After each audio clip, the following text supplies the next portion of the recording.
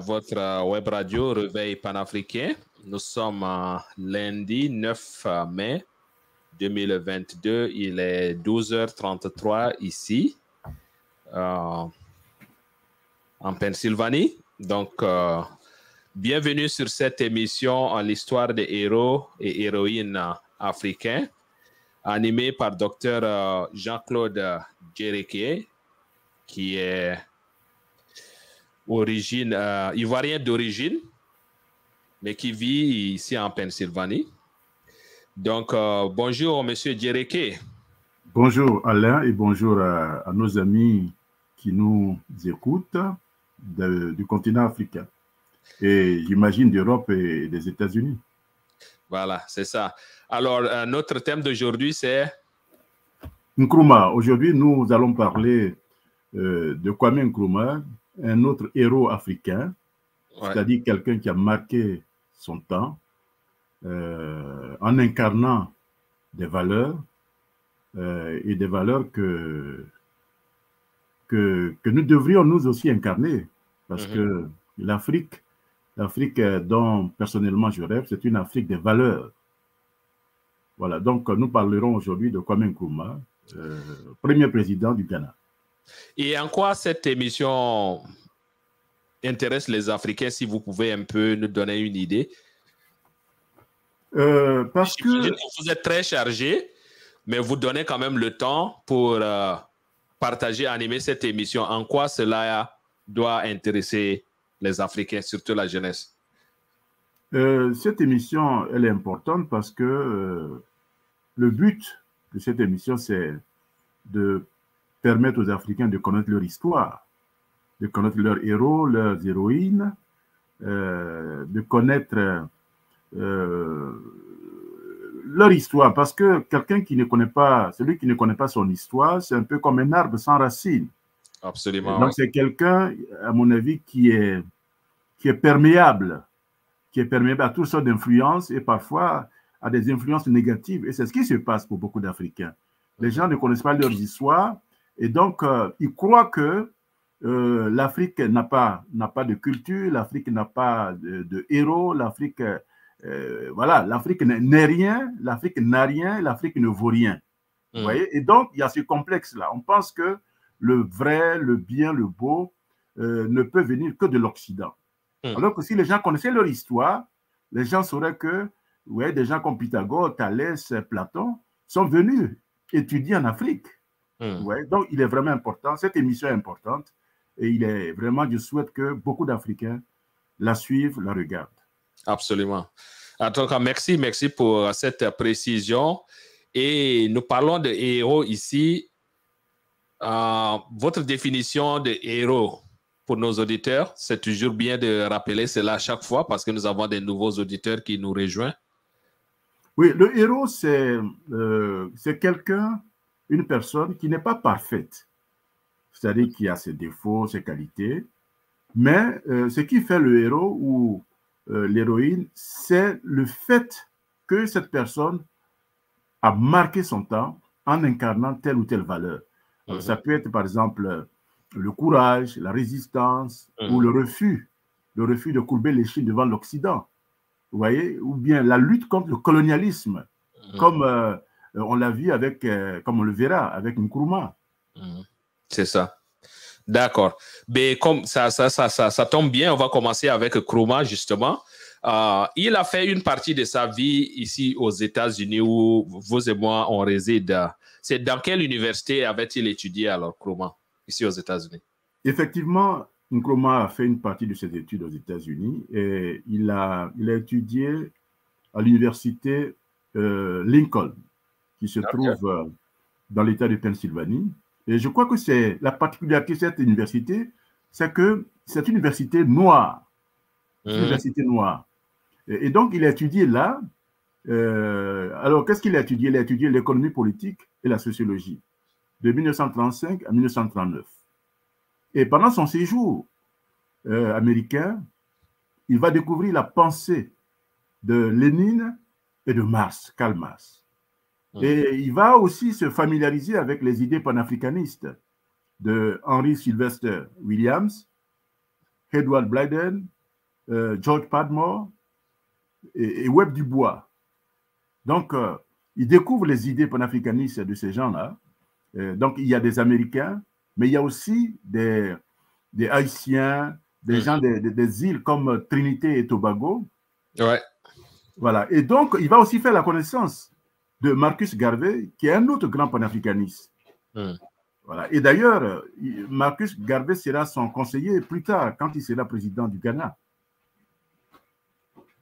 OK. Voilà. Donc, il était justement le premier président du Ghana. Mais les militaires qui l'ont renversé l'ont accusé de plusieurs choses, notamment euh, son goût pour euh, le culte de la personnalité, endettement excessif du pays, pénurie des produits de première nécessité, dévaluation du CDI. CDI, c'est la monnaie ghanéenne, etc. Est-ce que ces accusations-là sont vraies? Bon, vous savez, euh, les poutistes, il fallait bien qu'ils justifient leur coup d'État. Donc, ils ont donné ces raisons-là. Euh, alors, je voudrais m'intéresser un peu, un peu, un peu, un peu plus à, une, des, une des raisons, c'est-à-dire le, goût pour le culte de la personnalité. Je crois qu'il y a une vérité là-dedans. Mm euh, Nkrumah, on l'appelait l'Osagiefo. L'Osagiefo, c'est un terme d'une de, langue euh, akan okay. qui signifie rédempteur. Ah, Vous voyez? Voilà. Donc, ça, c'est un fait. Ça, c'est un fait et, ça, ça participe du culte de la personnalité. Mais euh, on a vu ça un peu partout en Afrique. Hein, au Zaïre, par exemple, dans l'ex-Zaïre, Mobutu aussi se faisait appeler le Messie du Zaïre. Même chose. Par exemple, au journal. voilà. Donc, au journal télévisé, par exemple, euh, avant le journal, Mobutu descendait. Descendait du ciel des nuages. Vous voyez? Donc, on le considérait comme le Messie du Zaïre.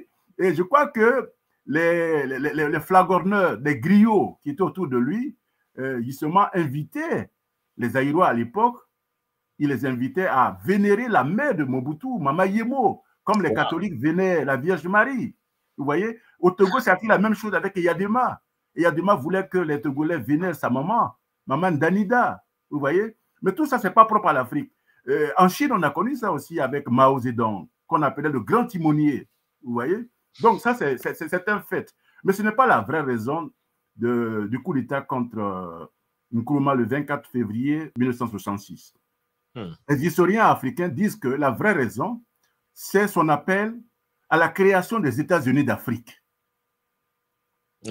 Comme le seul rempart contre le néocolonialisme et l'exploitation euh, du continent par les puissances occidentales. Les historiens disent que c'est la vraie raison. Euh, je, renvoie à nos éditeurs, par exemple, au livre de Hamzat Boukari Yabara. Hein, le livre s'appelle Africa Unite, euh, une histoire du panafricanisme. Ça a été publié en 2014 aux éditions La Découverte en France. donc, c'est ça la vraie raison.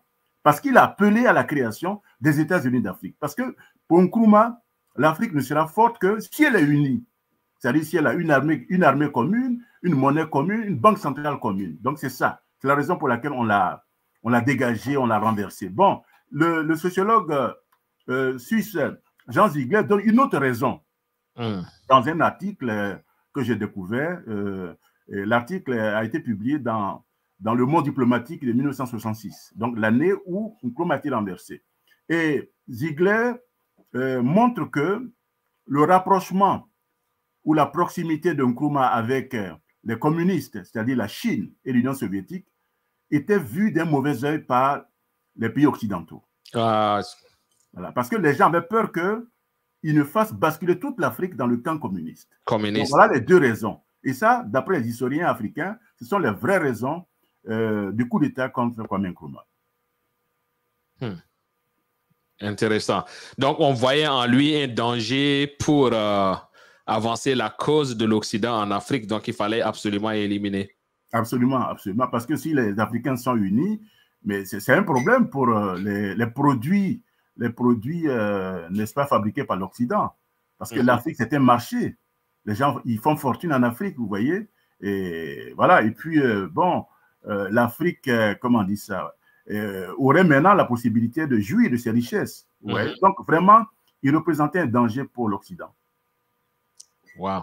Et ils ont certainement utilisé des militaires. C'est comme quoi, toujours le noir qui est le vrai problème du noir, quoi. C'est pas vraiment les Occidentaux. Ils passent toujours par les noirs pour euh, éliminer les autres noirs et retarder le continent. Tout à fait. Donc, euh, c'est ça. Donc, l'arme du crime, on la remet toujours euh, à un autre noir, voilà, pour, pour se débarrasser du noir qui empêche de tourner en rond. Voilà, le noir qui pourrait faire avancer l'Afrique, voilà, on va, on va armer un autre noir pour l'éliminer. Et c'est ce qui s'est passé avec Nkrumah. Et là, c'est dans les années 50, 66, c'est ça? 66, voilà, c'est ça. Le coup d'État a eu lieu. ça continue. Oui, le coup d'État a eu lieu le 24 février 66. Et jusqu'aujourd'hui, les Africains n'apprennent toujours pas la leçon. Ils se laissent manipuler par la France pour éliminer ceux qui sont vraiment panafricanistes. Tout à fait. Et là, on a vu ça au Burkina euh, en 1987, hein, le 15 octobre 87. Euh, Sankara qui l'a éliminé? C'est son frère Blaise Compaoré. Donc euh, l'Occident a dû lui souffler à l'oreille que voilà, il faut, il faut, il faut, il faut, il faut, il faut, il faut, il faut éliminer ce monsieur qui nous dérange.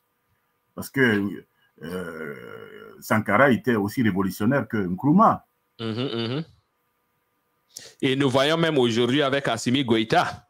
Absolument. Un autre révolutionnaire dont la vie est en danger avec euh, les Shogel et tout, tout, le staff. Absolument. Et c'est pourquoi euh, nous autres, nous invitons les autorités maliennes à la vigilance, à la plus grande vigilance. Vous voyez, il faut, il faut, il faut qu'il ait... Toute information doit être prise au sérieux. Vous voyez, et ça, moi, je, le dis, hein, c'est-à-dire, s'il y a des gens qui veulent encore euh, jouer ce, ce, rôle triste, hein, euh, c'est-à-dire les gens qui sont prêts à collaborer avec l'Occident pour éliminer les gens qui veulent nous faire avancer, ces gens-là, je crois qu'il faut être sans pitié avec eux. Il faut être sans pitié avec eux. Parce que souvent aussi, ils vont pas loin. Hein. Ils, ils, infiltrent le système, le milieu, pour identifier un traître et causer du tort aux autres. C'est toujours comme ça qu'ils font. Tout à fait. Là aussi, il semblerait, je ne sais pas si euh, tu es au courant de cette rumeur-là, mais il semblerait que la France a mobilisé 35 milliards de francs CFA pour euh, infiltrer le mouvement panafricaniste et qu'il semblerait qu'il y a eu une réunion qui s'est tenue à Abidjan.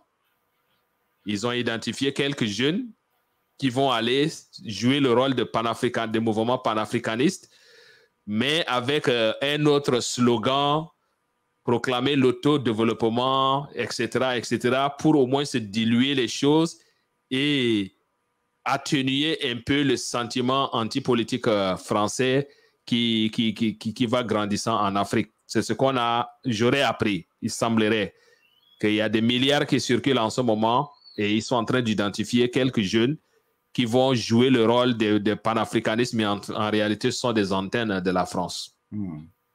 Euh, tu sais, Alain, avec ces gens-là, tout est possible. Hein. Tout est possible. Et euh, je veux dire que ce ne serait pas la première fois. Mais je pense que les Africains ont compris aujourd'hui, euh, grâce aux réseaux sociaux, grâce à Facebook. Et je pense que aucun jeune Africain n'a intérêt, n'a intérêt à jouer ce, ce, sale, ce sale rôle-là. Parce que c'est vraiment c'est un, un, rôle sale. Euh, parce qu'aujourd'hui, je crois que l'histoire, l'histoire nous, nous enseigne que l'Afrique, hein, l'Afrique est en train de se libérer. Donc, je crois que ceux qui joueraient ce rôle-là, ceux qui accepteraient, n'est-ce pas, de collaborer avec euh, la France pour, euh, pour comment on dit ça, éliminer les dirigeants du Mali, ceux-là, à mon avis, ils se mettraient du mauvais côté de l'histoire. Aujourd'hui, je crois qu'il faut se mettre du bon côté de l'histoire. D'accord. Merci bien. Euh, nous saluons déjà Lina, Isaac, euh, Parfait et tous ceux qui sont déjà connectés. à prière partager l'émission. docteur Djereke, il y, a une question ici que je vais poster d'un auditeur. Si vous pouvez répondre. Ça vient de Parfait Yelmentan. Bonsoir à vous et votre invité. Euh, j'ai une question à l'invité autour du projet des présidents panafricains, sur les Nations Unies d'Afrique. Les initiateurs de ce noble projet ne sont plus, mais que pense-t-il de ce projet avec les actuels présidents? Je crois que Kourouma, c'est un des, des, de ces initiateurs-là, on est en train de parler aujourd'hui, mais c'est la question est posée si vous pouvez apporter des réponses à parfait. Oui, je crois que, oui, je crois que euh, Nkrumah euh, s'est battu pour euh, les États-Unis d'Afrique et malheureusement, malheureusement, il n'a pas été suivi, il n'a pas été écouté. Et je crois qu'aujourd'hui, objectivement, aujourd'hui, on peut dire que le temps lui a donné raison. Parce que, je, le dis, hein, mais on pourrait y revenir, à la création de l'OUA, l'Organisation de l'Unité africaine, qu'est-ce qui s'est passé en 63 Il y avait deux blocs, il y avait deux groupes. Il y avait le mm. groupe de Monrovia avec le Nigeria et les pays francophones. Et mm-hmm. de notre côté, il y avait le groupe de Casablanca avec le Maroc, l'Égypte, la Guinée, euh, le Ghana, la Libye. voilà. Donc, tous ces pays-là, on les appelait les pays euh, radicaux. Mais en fait, c'est des pays qui étaient euh, favorables à la fédération, qui voulaient que les Africains aient une monnaie commune, une armée commune, une banque centrale commune. Bon, mm-hmm. malheureusement, on sait, on, on sait pourquoi c'est le point de vue du groupe de Monrovia, c'est-à-dire les conservateurs, là, ceux qui, ceux qui voulaient que chaque chef d'État africain gère son pays, c'est ce point de vue qui malheureusement a triomphé. Je dis malheureusement parce que euh, nous, sommes, nous sommes en 2022. Euh, je veux dire qu'on n'a pas avancé. Hein, cette option-là ne nous a pas fait avancer. Puisqu'on mmh. se retrouve aujourd'hui avec des États, n'est-ce pas, des petits États qui sont faibles, qui ne peuvent pas tenir devant, n'est-ce pas, l'Occident. Vous voyez, alors que si on avait écouté euh, euh une Nkrumah, c'est-à-dire si on avait fait la fédération, eh bien, euh, on, serait, on serait fort face à l'Occident. Et l'Afrique aurait, n'est-ce pas, une voix audible à l'ONU. Ouais. Donc, je pense que euh, le projet de Nkrumah reste d'actualité. Il reste d'actualité. Et moi, je pense que c'est dans ce sens-là que l'Afrique d'aujourd'hui devrait aller. Il faut qu'on arrive à la fédération. C'est très important en effet, mais sauf que, que ce qu'on pense de ces présidents actuels, euh, moi je pense que quand on fait un peu le tour de l'Afrique euh, subsaharienne, je ne vois pas un président comme ça qui est l'autre, sauf peut-être au Mali. On peut encore compter sur ces gens-là. En Guinée, on peut compter un peu, peut-être euh, en Centrafrique. Mais l'idée derrière, c'est justement dans le but de cette émission, il faut conscientiser la jeunesse parce que la jeunesse africaine est majoritaire. Plus de 60% de la population africaine a moins de 40 ans. Et ils ont le poids pour changer les choses. Si vraiment cette jeunesse s'implique dans la lutte politique, c'est parce que cette jeunesse se rétracte, laisse la place à ces présidents corrompus là, et ils font le jeu de la France et ils continuent à faire le jeu de la France. Mais si cette jeunesse se lève et prend son destin en main, et qu'il y ait des candidats panafricanistes partout en Afrique, la jeunesse soutient des candidats panafricanistes. Il faudrait qu'il y ait des candidats qui vont faire des déclarations solennelles comme quoi, quand ils vont venir au pouvoir, les relations avec la France, là, ça va changer. Et ils ont ce pouvoir-là de mettre ces panafricanistes-là. Imaginez un peu si en Afrique francophone, il n'y a que des présidents panafricanistes. Ces présidents-là vont se réunir et ils vont s'entendre parce qu'ils ils regardent tous dans la même direction. Mais aujourd'hui, nous n'avons pas de présidents panafricanistes, nous avons des présidents corrompus. Nous avons des présidents qui sont des sous-préfets de la France, qui ne font qu'écouter la France, le petit Macron, des grands gaillards qui viennent et qui se laissent manipuler par ce jeune garçon-là. On ne peut pas compter sur ces présidents-là pour mettre en place euh, l'idée noble de, des Nations Unies d'Afrique. Je ne pense pas. Pas avec ces gens. Oui, oui, je suis d'accord avec toi, euh, euh, Alain. Je crois que ce n'est pas, pas de, de Macky Sall, de Ouattara que viendra le salut de l'Afrique. Hein, ce n'est pas eux qui vont, qui vont prendre à bras le corps le projet panafricaniste. mais je crois que nous ne pouvons pas désespérer parce que nous voyons comme tu parlais des jeunes, de la jeunesse africaine, nous voyons justement euh, quelqu'un comme Kémy Seba qui a mhm. créé, qui a créé euh, Urgence panafricaniste. Et si je ne m'abuse, c'est un mouvement qu'il est en train d'implanter un peu partout en Afrique. Hein, mhm. au Sénégal, au Mali, en Côte d'Ivoire, au Bénin, au Togo, au, Tchad, j'imagine. Et, je pense que c'est une bonne chose, ça. C'est une bonne chose. Bon, mais je crois que parallèlement, euh, nous devons profiter justement des moyens des médias sociaux hein, euh, comme Facebook. Moi, je crois les jeunes, il faut qu'ils profitent de ces moyens-là pour se mettre ensemble, pour se connaître hein, et puis travailler ensemble. Moi, je crois que c'est comme ça que nous pouvons aller progressivement euh, à la réalisation du projet, du rêve de Kwame Nkrumah.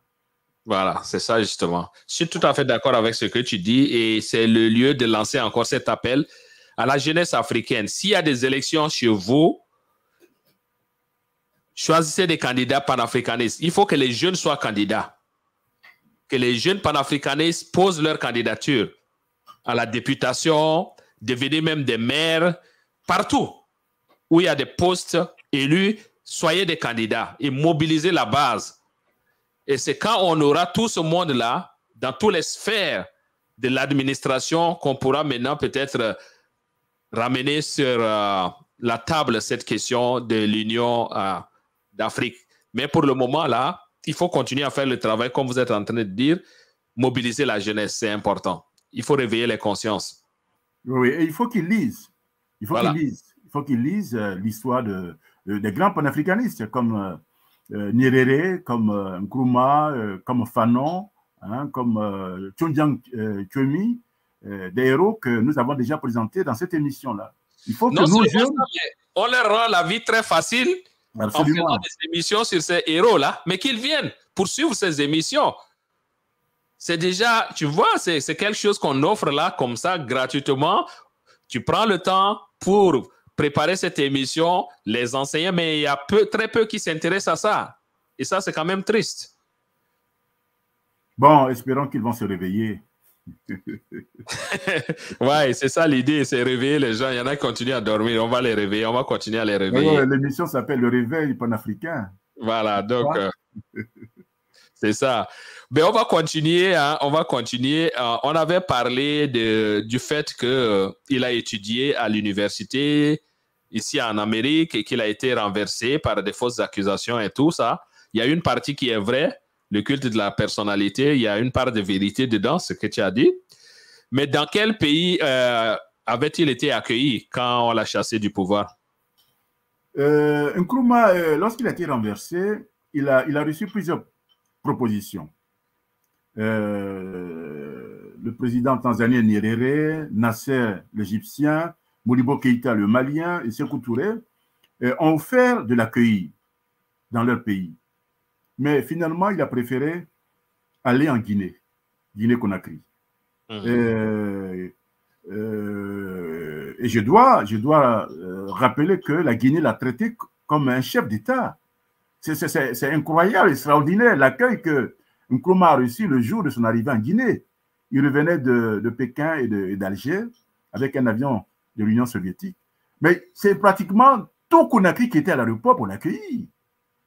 Et euh, j'ai découvert dans mes lectures que euh, on a, on a, on a euh, comment on dit ça il, y il y a eu 21 canons.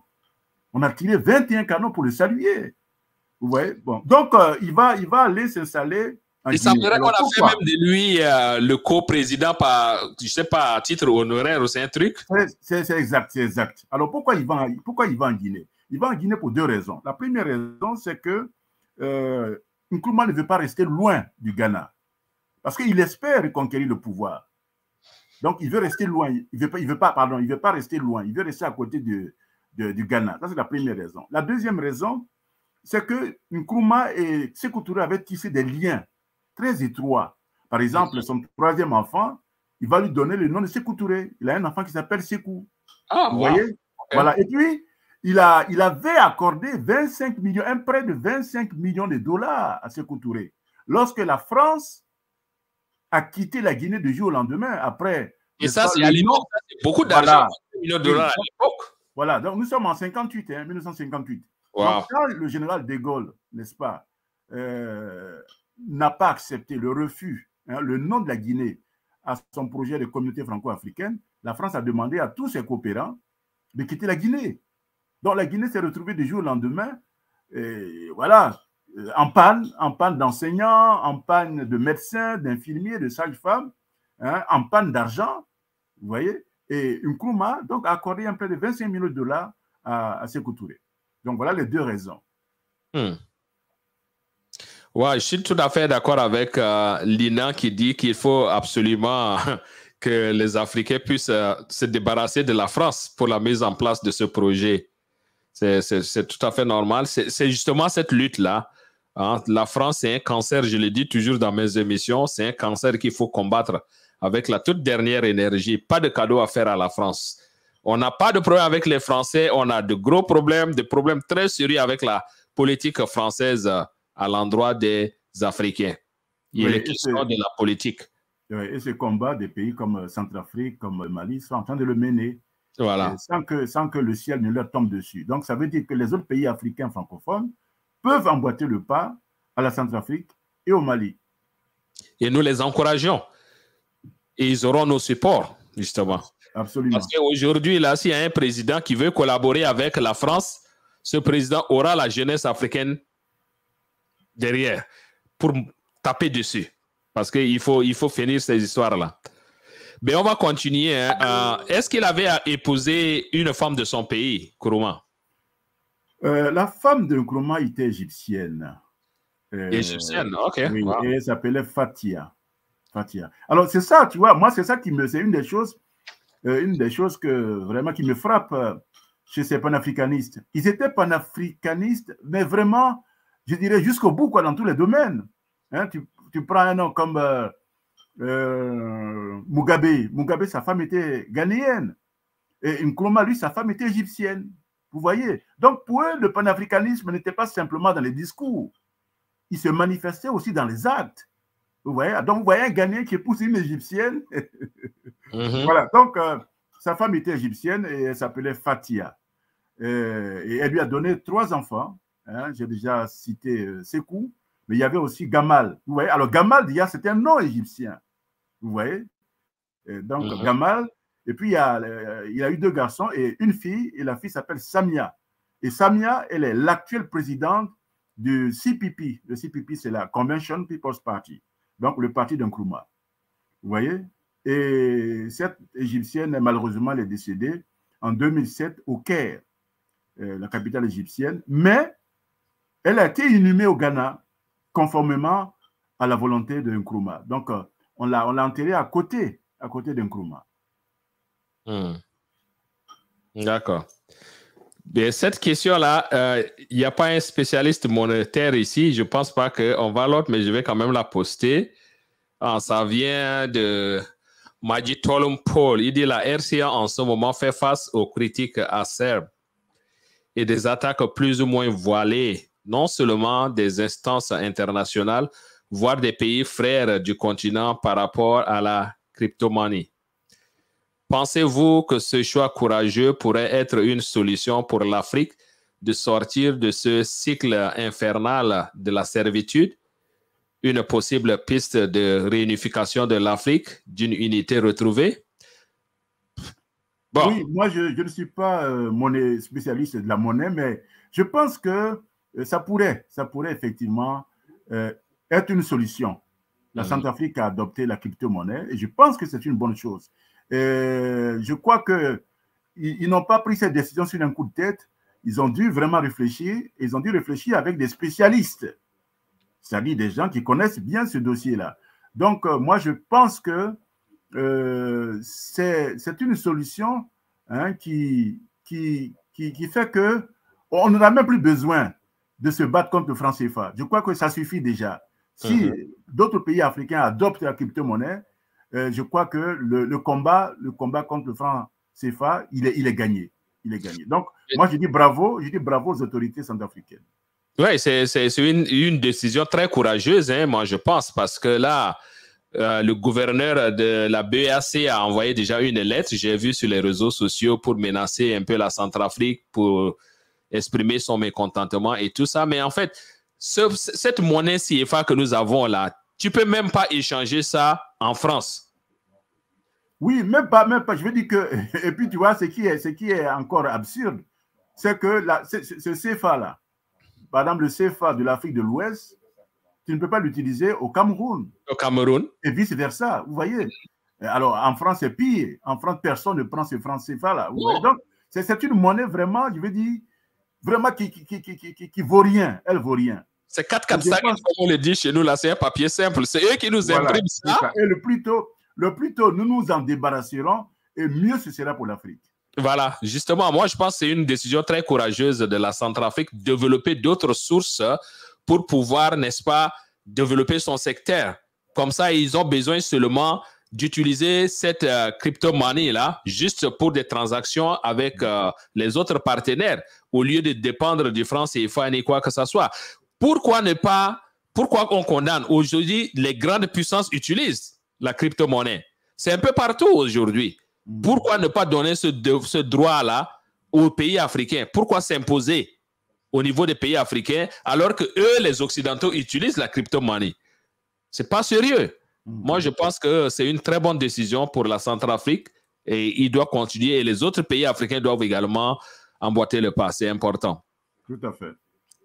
Parce que cette histoire de changer la monnaie, là, éco, quoi, quoi, ils sont en train de faire de n'importe quoi avec et tout ça, il faut oublier ça.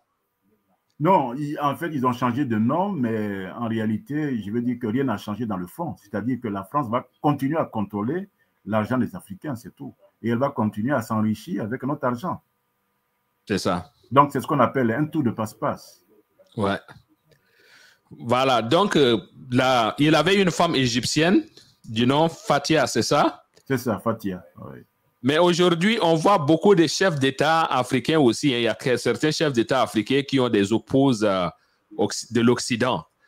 Ça, dit beaucoup de choses par rapport à leur panafricanisme. C'est vrai, il y a une question d'amour qui est là, mais quand même, quand tu es à la tête et tu te dis que c'est toi le président de cette nation, mhm. et dans cette nation-là, il n'y a pas une femme belle là que tu peux mhm. aimer, il faut mhm. aller jusqu'à aller de l'autre côté, sortir carrément de l'Afrique non, Non, c'est pas sérieux, quoi. Donc, euh, bon, c'est, je sais que c'est une question d'amour, mais je l'ai dit là comme ça. Oui, mais euh, je crois que le poste de président de la République, c'est quand même un poste sensible. Donc, à mon avis, dans la Constitution, on devrait mettre clairement que parmi les critères, euh, il devrait y avoir celui-là, c'est-à-dire que le, président, celui qui veut être président, il faut que sa femme soit africaine. Moi, je crois que demain, là, justement, avec euh, euh, cette Afrique nouvelle là, qui arrive, il faut, il faut mettre ça dans, dans, toutes les constitutions. On ne veut plus de femmes, euh, on ne veut plus de femmes voilà, européennes. Parce qu'il ne faut pas croire que ce n'est pas anodin. Hein. Une femme blanche, une femme française ou anglaise, écoute, il n'est pas, pas sûr que forcément elle serve les intérêts de l'Afrique, hein, du pays africain. Non, pas du tout. Donc, moi, je, je, je suis d'accord, je serais d'accord pour que dans, dans les, prochaines constitutions, on met très bien cet article-là. Pas de femme. Hein, la première dame ne doit pas être française, ne doit pas être anglaise, ne doit pas être espagnole. Il faut qu'elle soit africaine. C'est important, surtout à ce poste-là de la présidence, parce que là, on représente toute la nation et il y a beaucoup de secrets que le président voit et avec son épouse qui est là, qui, qui voit tous ces secrets, alors que elle n'est pas née en Afrique, elle n'a pas grandi en Afrique, elle est d'un autre continent il y a de quoi se demander si elle va être aussi fidèle que ça hmm. par rapport aux intérêts du continent, sinon du pays en, question. Donc, moi, je suis d'accord avec cette proposition. Je pense que c'est une bonne proposition. Les juristes qui nous écoutent, ils n'ont qu'à penser à ça. Quand ils vont rédiger les constitutions, mettre cet article-là, il faut que celui qui va prétendre diriger un pays africain se marie à une africaine. Tout à fait. C'est important. Maintenant, tu es ministre, tu, tu occupes d'autres postes, ça c'est ton problème. Mais le président de la République, quand même, doit avoir une femme africaine. Il y a plein de belles femmes africaines. Il n'y a pas question d'aller ah aller chercher ailleurs. C'est pas normal. Oui, oui, oui. Ce n'est pas, pas les belles femmes qui manquent. Les, les femmes belles et intelligentes, ce n'est pas ça qui manque en Afrique. Voilà. Tout à fait d'accord. Tout à fait d'accord. OK, ben on va, on va continuer. Je crois que tu as brossé ça un peu, mais je vais revenir là-dessus quand même. Euh, il y a eu deux groupes à l'aube de la création de l'Union, de l'organisation de l'Union africaine. Dans quel groupe était Nkrumah Oui, euh, Nkrumah euh, appartenait au groupe euh, dit de Casablanca. Mhm. Et dans ce groupe, il y avait des pays comme l'Égypte, la Guinée, le Ghana, le Mali, la Libye et le Maroc. Et c'était euh, donc des pays qui étaient favorables à la fédération. c'est-à-dire qu'il souhaitait que les Africains aient une monnaie commune, une banque centrale commune, euh, une armée commune. je crois que c'était ça, c'était ça leur projet. malheureusement, euh, ils, ont perdu, ils ont perdu face à l'autre groupe qu'on appelle le groupe de Monrovia, où, où il y avait tous les pays francophones avec le Nigeria. Et le groupe de Monrovia, euh, lui par contre, était pour, comment on dit ça, pour que chaque chef d'État dirige son pays. Et, et c'est ce que nous avons jusqu'à aujourd'hui. Vous voyez, on a des petits pays comme le Togo, le Bénin, mais qu'est-ce que ça représente devant la Chine, par exemple? Qu'est-ce que le, Togo pèse devant la Chine? Hmm. Qu'est-ce que la Côte d'Ivoire pèse devant la Chine? Vous voyez? Donc, ça n'a pas de sens, ces micro-États-là. Parce que ce sont des pays, ce sont des États faibles. C'est ce que Laurent Gbagbo avait dit, mais quand tu es là, tu, il, rigole. Il voit, tu, tu, pèses même pas, même pas une goutte d'eau dans la mer. Tout à fait. Oui, oui. Donc, euh, Donc je crois que euh, en fait, le, groupe de Casablanca, je pense que c'est eux qui avaient raison. En parlant de fédération, c'est eux qui avaient raison. D'accord. Il y a une question de Lina, bon, pas vraiment une question, mais un commentaire là, que je suis tout à fait d'accord avec. La manipulation, nous avons parlé de ça. C'est le noir qui est le gros problème de son frère noir. Et la France est en train de manipuler, surtout le Tchad, c'est un, un pays très dangereux pour le panafricanisme.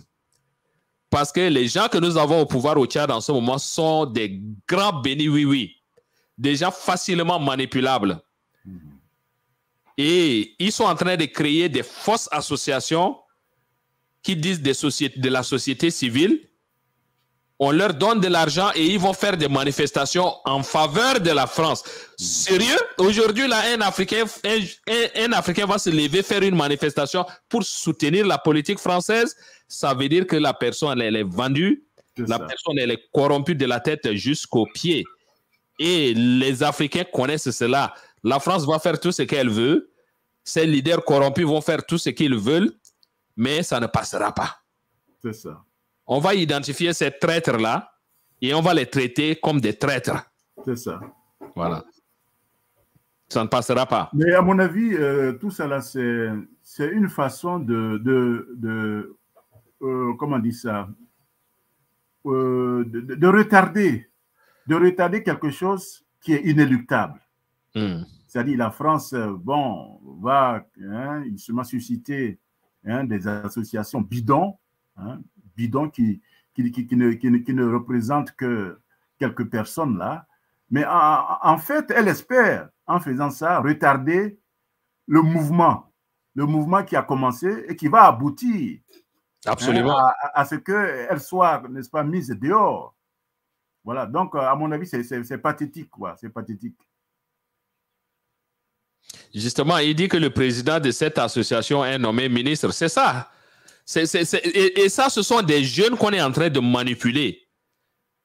Mais bon, il va toujours exister des traîtres. Hein. Dans, dans, dans, toute société, il y a toujours des traîtres. Il faut seulement savoir les cibler et les traiter comme tels. Il y en aura toujours. Absolument. Il faut Mais aussi longtemps que la grande majorité comprendra cela, c'est ça qui est important. Et ce combat, comme tu l'as dit, ça aboutira.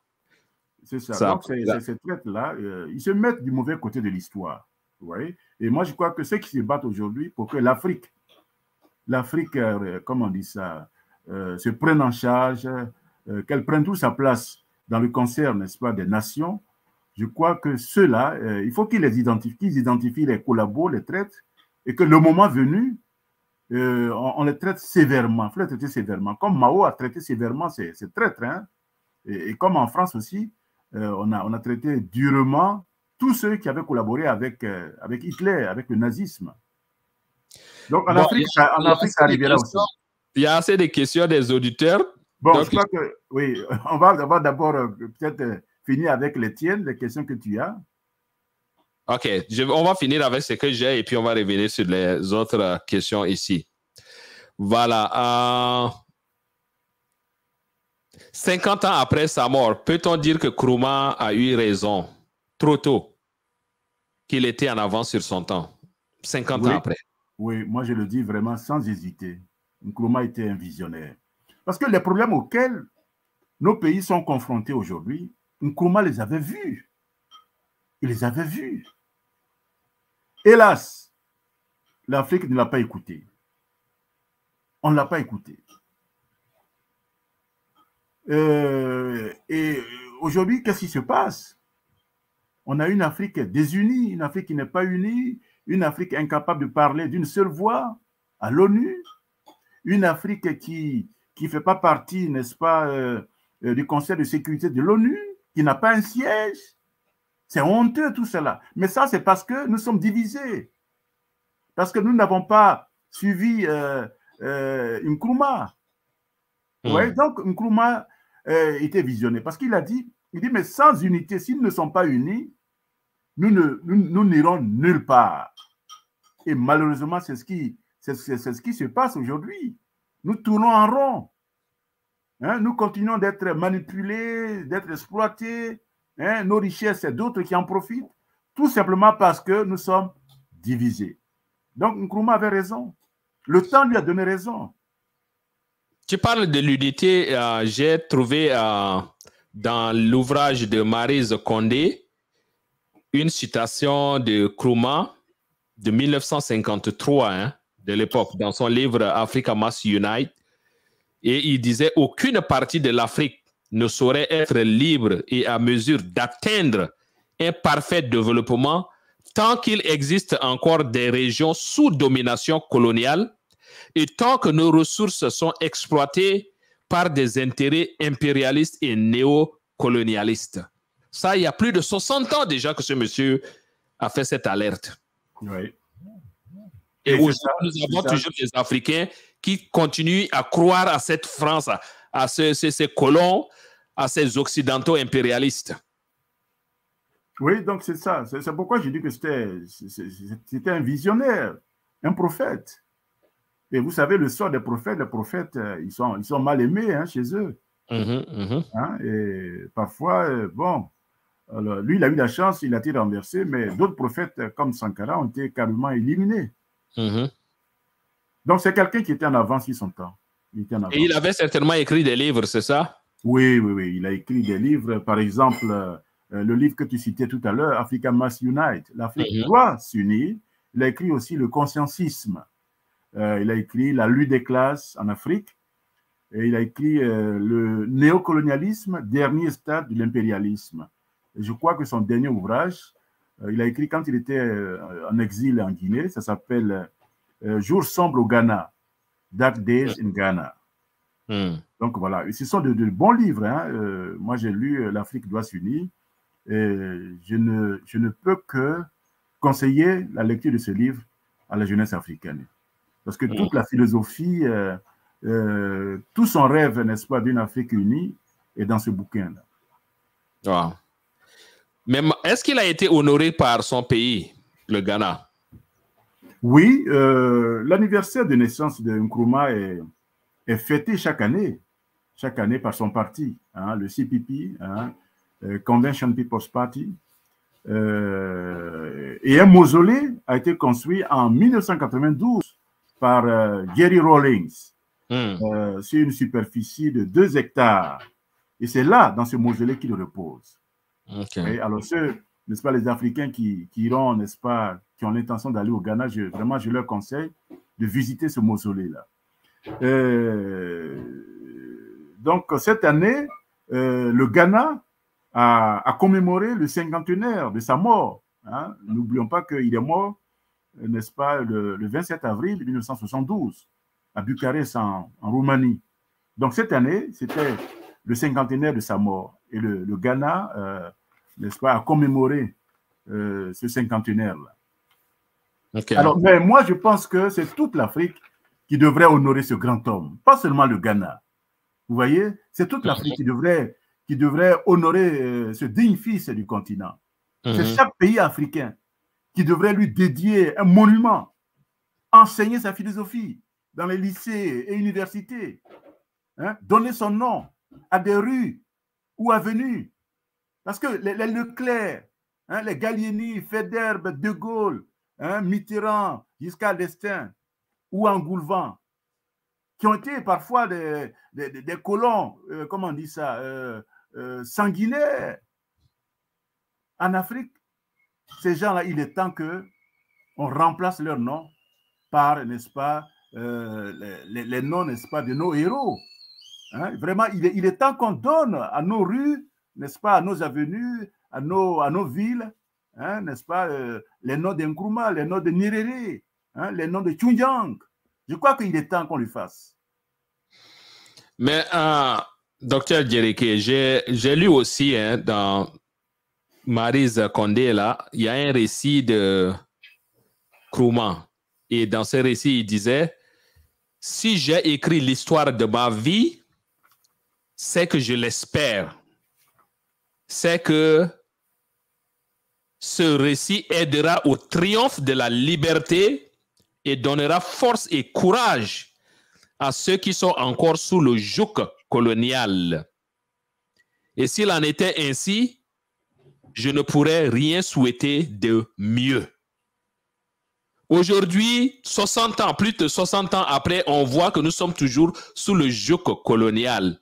Qu'est-ce qui s'est passé? Parce que certainement dans sa tombe, il n'est pas content. Qu'on continue à être sous le joug de, du colon, de l'impérialisme. Qu'est-ce qui s'est passé 60 ans, plus de 60 ans après? C'est quand même une très longue période. Pourquoi le réveil continue à, à, prendre du temps? Oui, oui je, constate, je constate comme toi que euh, les mots que Nkrumah euh, décriait. Je trouve, euh, dommage que ces mots-là perdurent hein, et paralysent le continent.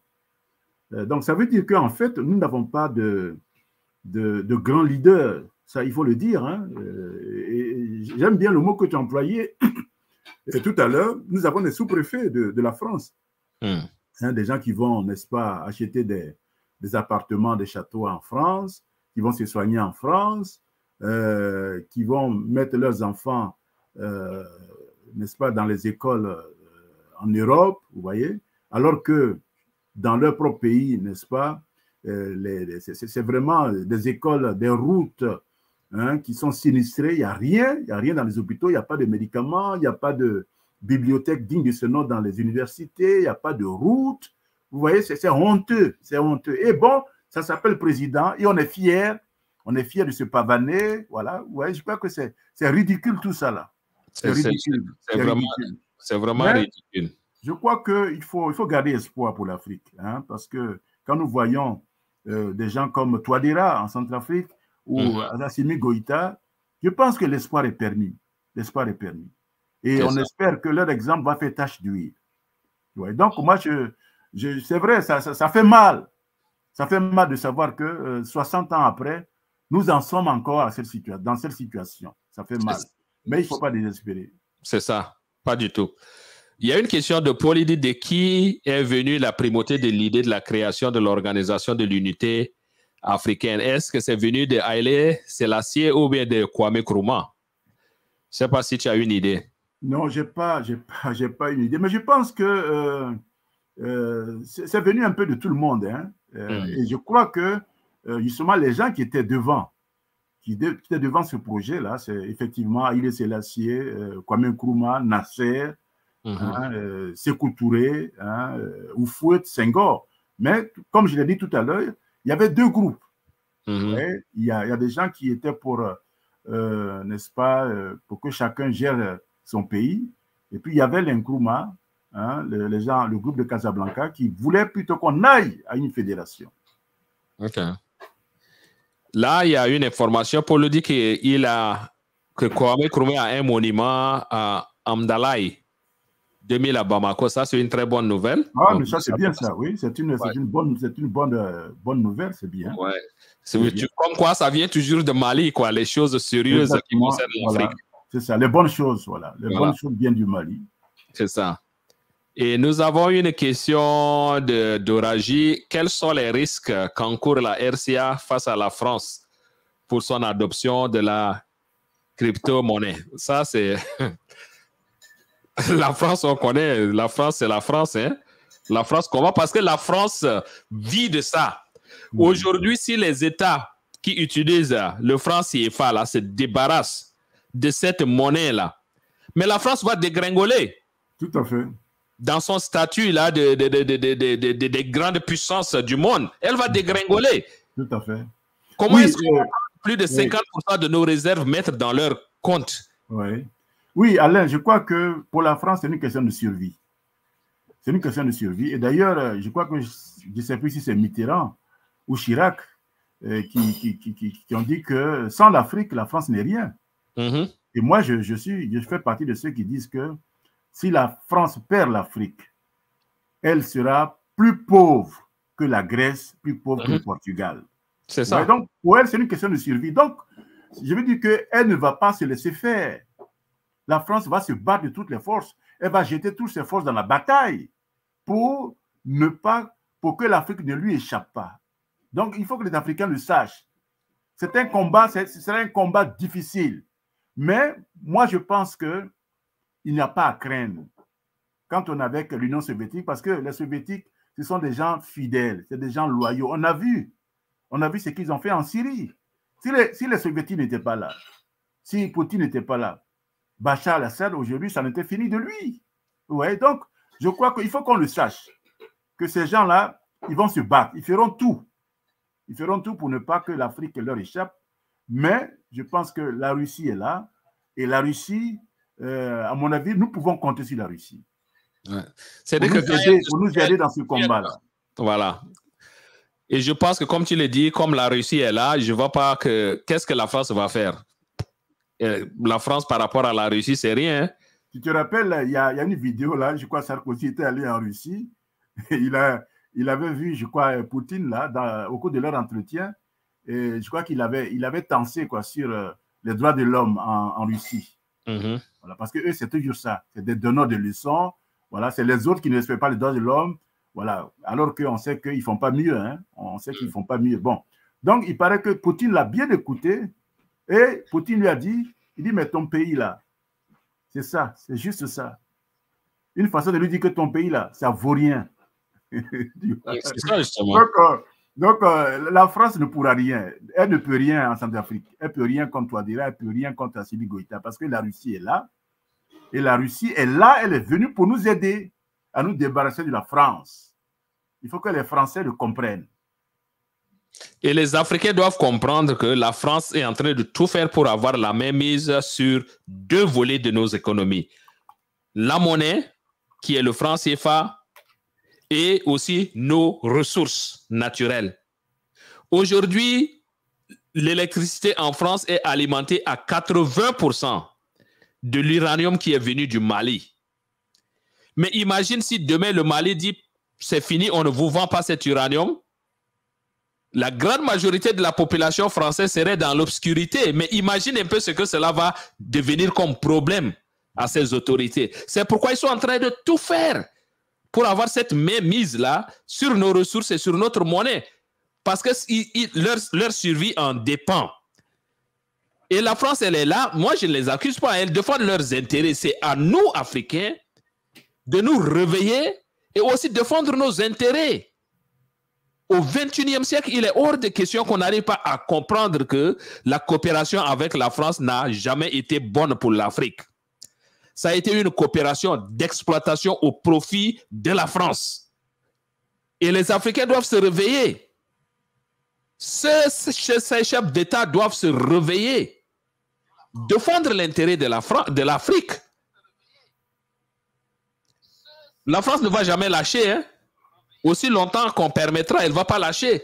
Elle va continuer à chercher à mettre des, des bénis oui-oui à la tête de nos États, comme le cas au Tchad aujourd'hui, comme le cas chez vous, là, en Côte d'Ivoire aujourd'hui.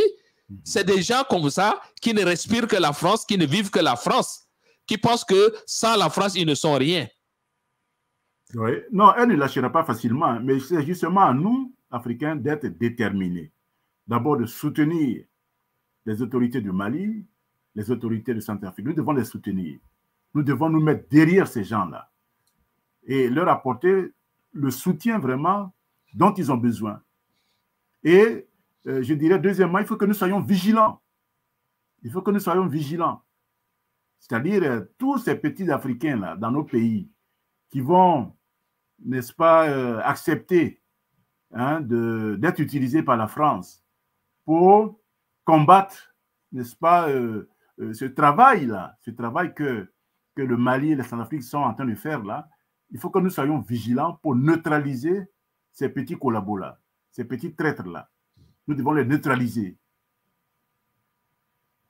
Voilà. Donc, nous arrivons à la fin hein, de cette émission, Monsieur Djereke. Est-ce que vous avez un commentaire pour conclure l'émission?